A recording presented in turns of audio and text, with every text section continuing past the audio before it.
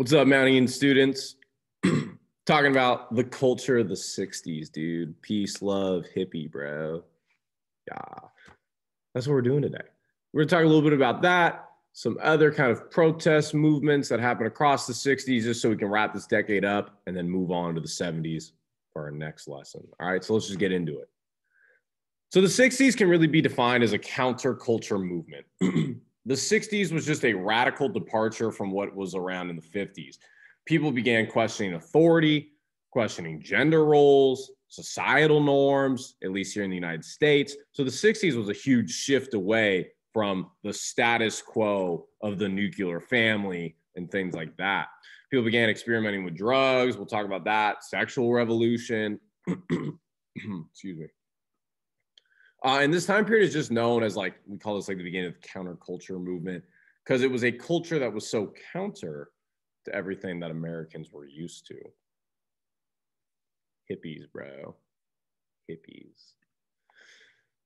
Kind of notice the fashion, the style.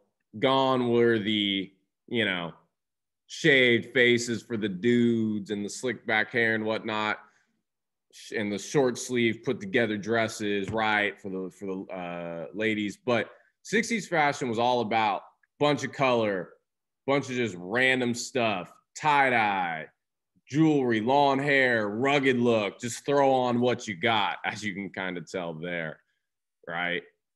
All about peace and love, bro, and colors. Music, rock and roll was still big but rock had really kind of moved on from the days of Elvis. The Beatles were and arguably are the most popular band in the world, right? And you had other artists like the Rolling Stones, The Who, Jimi Hendrix. They were very popular at the time. But that type of rock and roll, um, which if you listen to that or pop it on, different than the 50s rock and roll and the Elvis rock and roll. That you got a picture of the Beatles. Paul McCartney is the dude in the blue. Um, he's the only one that is left alive got the Rolling Stones, the Who there. A lot of British uh, uh, influence. A lot of British rock and roll people got pretty big in the 60s. More talking about music. Uh, one of the biggest events of the 60s was in the summer of 69. This event known as Woodstock, which started out as kind of just this idea of, hey, let's have a bunch of artists come together and then invite people and we'll call it a music festival. Um, and Woodstock would really come to symbolize the 60s. Um, over 400,000 people showed up for the festival, um, way more than what was expected. And, you know, a lot of drug and sexual experimentation was rampant at the, uh, the festival. Um, I mean, this just gives you an idea of the crowds, right? I mean, just huge amounts, like all across here, people just showing up, right? In the mud, sleeping out, Woodstock is kind of the ancestral, I don't know, relative to what Coachella is, right? There is no Coachella or outside lands or other music festivals you will all go to when you're in college um, without Woodstock. And so Woodstock kind of changed the way we partake in music, right? The 60s were also a time period of a lot of protesting. So when you compound that there was the civil rights movement going on and really anti-Vietnam War sentiments combined together, the 60s were a time period of really low levels of patriotism, big questions against the government, anti-government kind of mood, and a lot of civil disobedience most of the civil uh, most of the protesting was done by either uh, usually across the board young people and then people of color who were more agitated about the civil rights movement right? Again this contributed to the counterculture movement of the 60s just showing you just the protesting. This one on the bottom right here is actually at uc berkeley. Um, berkeley in the bay area um, were a center and really a, a bastion for progressive ideals. That's why the Bay Area today is the most progressive place in the world. A lot of people moved out here in the 60s because the Bay Area represented uh, more of a progressive lifestyle, forward thinking, less like old timey values. And so that's why the Bay Area today, the legacy of that is like the legacy of the 60s and of the hippie movement, those people who had kids, right? And how they raised their kids and then so on and so forth, right? Um, yeah, Bay Area. Talking more about the drugs and sexual revolution, the 60s was also a time where just people began experimenting with drugs very much more openly. Um, drugs like acid, mushrooms, marijuana became much more mainstream. Um, sexual freedom was more celebrated, especially you know when we talk about like LGBTQ plus and kind of uh, their visibility in the American spectrum and being out there.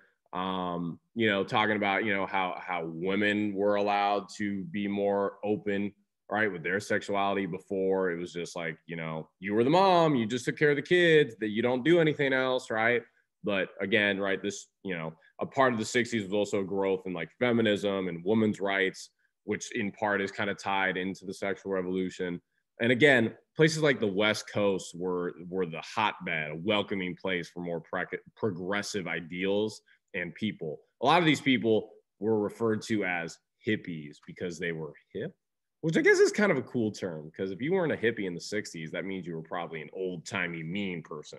Um, so, yeah, a little bit about that.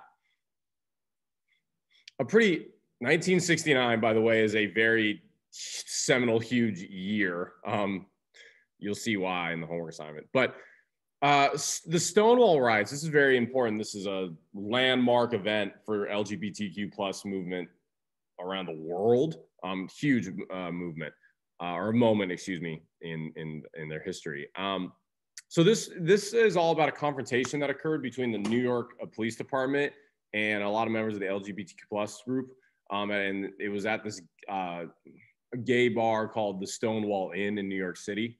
Um, and at this time, America was very anti-LGBTQ plus, right? And the NYPD uh, was looking for a lot of petty reasons to arrest and go after these people and mostly just pester these people, right? Because they didn't fit into the nuclear family model and they were just some hippies and they were, you know, subhuman. I mean, just you could, the hatred, right? And the bigotry that existed. Um, but violence broke out in response to the raid of the bar. The people in the bar were like, no, you're not going to press us like this. And so they fought back, throwing bricks and glasses, and it was a violent clash. Um, and so in the ensuing days, more protests and riots ran out across the city um, in response to kind of the unprovoked attack and raid on the bar.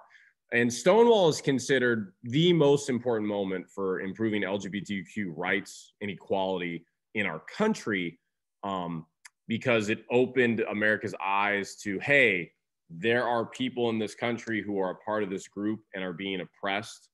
We are here, we are visible.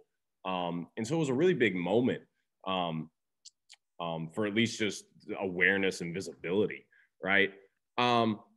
You know, Stonewall, uh, that event um, uh, gave birth in the following year to the Pride festivals. And then Pride eventually became a nationwide thing, usually happens in the summer.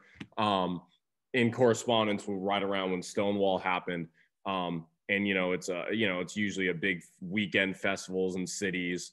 Um, San Francisco is one of the biggest ones. Um, uh, San Francisco Pride.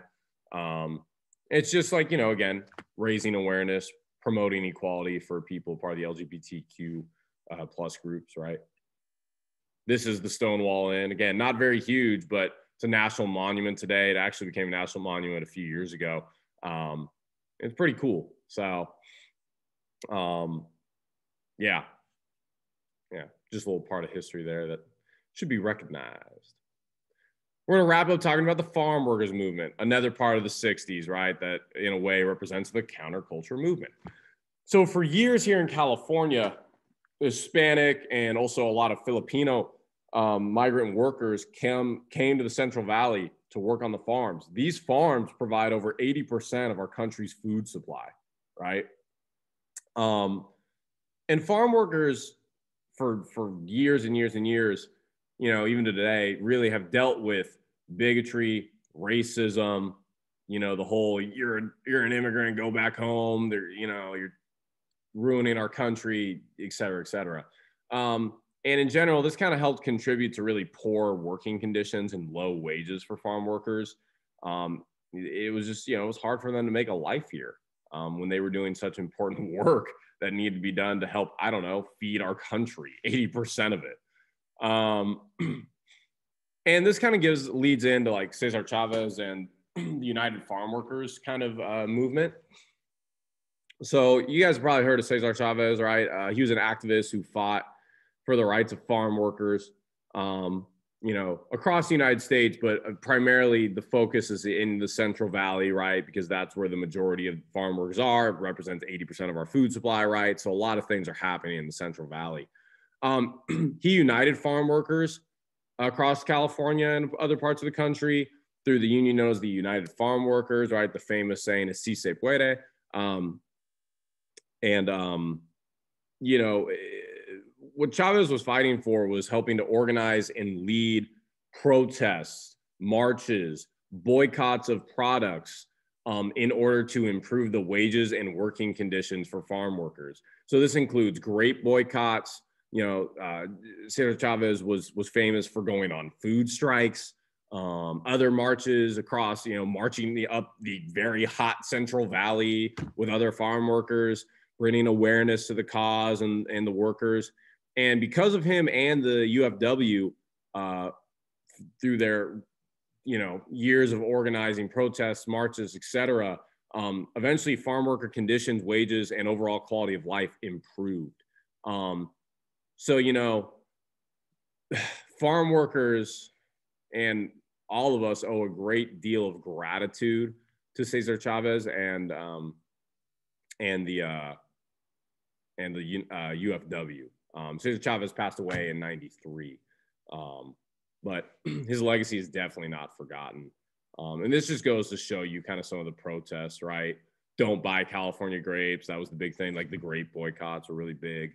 Um, yeah.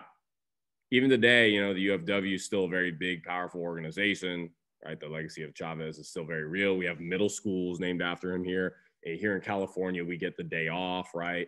He's a California icon. And if we ever had our own money, he should be on one of the uh like he could be on the California like one dollar bill or something like that. That's my vote. Um and there's a lot of murals of him, right? Uh, you can find across California, especially. Um, I know when I was at UC San Diego, there's a really big mural of him, which is really cool. Um, this one is in San Francisco, I believe. Um, so yeah.